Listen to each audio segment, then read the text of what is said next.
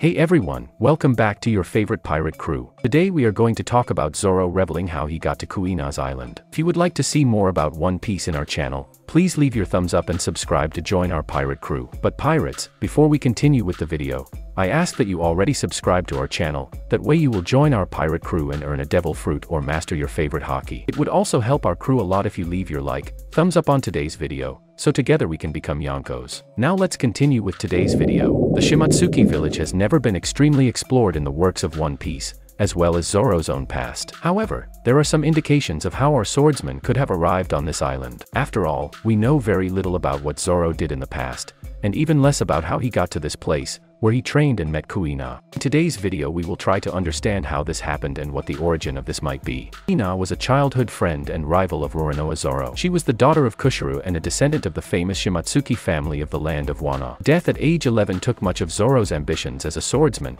including the development of the three-sword style. When first introduced, in a flashback, she was arrogant and confident in her skill as a swordsman. However, she had always lived with the knowledge that, since she was a young girl, it would only get harder as she got older to compete with men and had been told by her father of her future problems. She covered her hesitation and fear with arrogance and acted confident rather than fearful and weak, trying to prove to her father that she could become the greatest swordsman in the world. Her gender would force her to give up the life of a swordsman while growing up, and she would not be allowed to inherit her father's dojo. When she reached puberty, her fears intensified. Eventually, Zoro made her believe that it is willpower and skill, not strength, that makes someone a swordsman. Kuina was born, the child of Koshiro and his wife, in Shimotsuki village, approximately two years after Gol D. Roger's execution, around the same time as Shiki's escape from Impel Down. Though Koshiro expressed concern about whether a daughter could properly inherit his dojo, his wife expressed hope in Kuina's strength. As a result, Kuina was properly trained in fencing from an early age. the age of 11, Kuina had become the strongest trainee in the dojo, unbeatable by anyone else. Remarkably, she faced 2,000 fights against the next strongest trainee, Roronoa Zoro, and won them all, to Zoro's great frustration. Despite this, her father maintained the concern that men would naturally outperform her fencing with age, sowing a bitter anxiety within her. Eventually, Kuina accepted a new challenge from Zoro, to fight a duel with genuine steel swords. In the dead of night, she brought her family's prime minister, Meito Wado Ichimonji, against Zoro's own blades and won once again. However, she celebrated little, while Zoro cursed her weakness, she confessed her own insecurities, including her dream of being the greatest swordsman in the world and her jealousy that Zoro, as a man, could pursue him where she could not. First shocked, Zoro angrily rejected Kuina's reasoning and insisted that only effort and skill, not birth, would decide their standing as swordsmen, and whether he would be able to defeat her. His faith encouraged Kuina, and together they made a mutual vow, one day, one of them would become the greatest swordsman in the world. Unfortunately, this would be their last interaction, as Kuina accidentally fell down a flight of stairs the next day with a fatal impact. Upon seeing her lifeless body, Zoro in tears accused her of breaking her promise, then, to subsume his pain and honor her memory, he vowed again to become a master swordsman who could fulfill their mutual dream. Kuina's memory would carry Zoro through the rest of his life, spurring him to adopt the Wado Ichimonji as his primary blade and develop the three-sword style to accommodate it properly. Approximately seven years after his final duel, Zoro would leave Shimotsuki village to begin as a professional swordsman, with the ultimate goal of defeating Dracule Mihawk. Though still unsuccessful, as Mihawk easily overpowered him in their first encounter, Zoro currently stands out as one of the world's most renowned swordsmen, as well as the second most notorious member of the Straw Hat Pirates, behind only their captain, Emperor Monkey D. Luffy. For a while, Kuina's memory would also cause Zoro considerable anxiety around Tashigi, a marine officer almost identical to her in both appearance and interests. However, this had mostly subsided when the Straw Hats entered the New World. Shimotsuki Village is a village in East Blue where the dojo in which Roronoa Zoro trained is located. It was founded by pirates about 55 years ago. Village was named after Shimotsuki Kozaburo,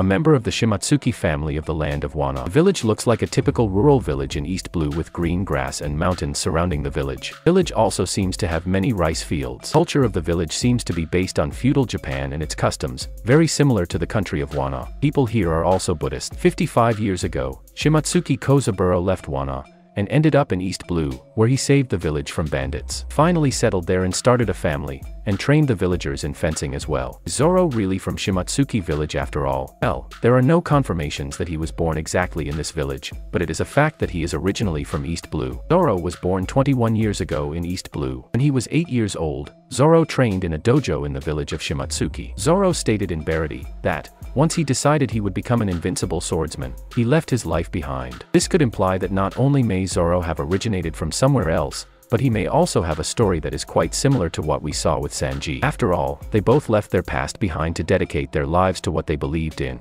and that could be reflected here in their story. Let's admit that some of us expected the Wano arc to be just the arc focused on Zoro, just as Whole Cake was on Sanji. We saw Nami's dramatic story, the background, in the Arlong Park arc, Robin's tragic story in Enies Lobby, and Sanji's eccentric life in the last arc. Unfortunately, it looks like we will be quite disappointed in this expectation as time goes on. As the conclusion of the work approaches, some possibilities may lead us to conclude that either Zoro will not have the background presented, or something bigger may be in store for both him and Nami, who also seems to have a bigger story behind her. Some have even suspected that he might have had a connection to Shimotsuki. In chapter 1023 of the One Piece manga, Kawamatsu and Hyogoro provide some interesting information about why Hiyori gave Zoro the Enma sword, which belonged to his father Kozuki Oden. Zoro bears a remarkable resemblance to Shimotsuki Ushimaru. Not only does Zoro look like Ringo's daimyo, but he also uses the same style of sword as he does.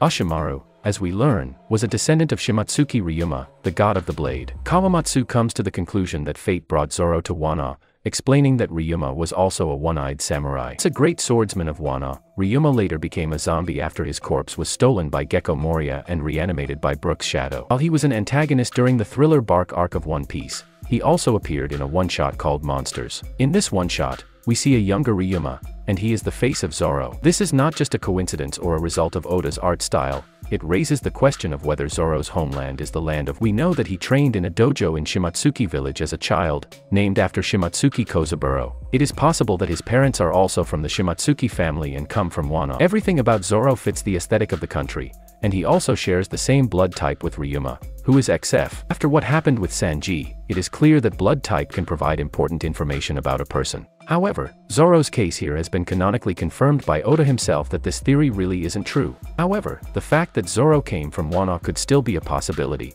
and we could imagine that his parents came from there to East Blue, where perhaps he was raised before moving away from his family and following the path of the sword. But what about you? Do you think Zoro could have come from Wano before he came to Shimotsuki village? Was he born on this island from the beginning? Will his past be revealed at some point in the future? Leave in the comments your opinion about the character. That's it my Straw Hat Pirate I really hope you enjoyed this video, and if you have any suggestions for a video don't forget to comment below, because I'll be reading them all as I always do. Also don't forget to leave a like if you enjoyed the video and be sure to subscribe and ring the bell so you don't miss out on any content from your pirate crew.